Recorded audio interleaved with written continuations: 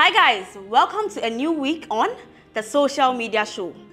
Rapper Medikal has caused a stir amongst Ghanaians with news of his collaboration with his ex-girlfriend, Sister Derby, on a new single.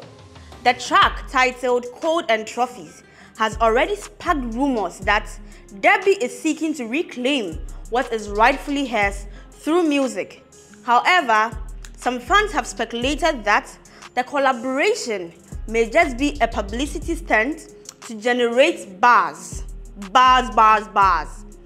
In a recent video, the ex-lovers can be seen interacting and preparing for the music video shoot, adding fuel to the already heated rumors. Only time, only time will tell the true intentions behind the collaboration. But one, but one thing for sure is, Ghanaians are always on the lookout for the latest news and gossips from their favorite artists. So stay tuned as we bring you more updates on this developing story.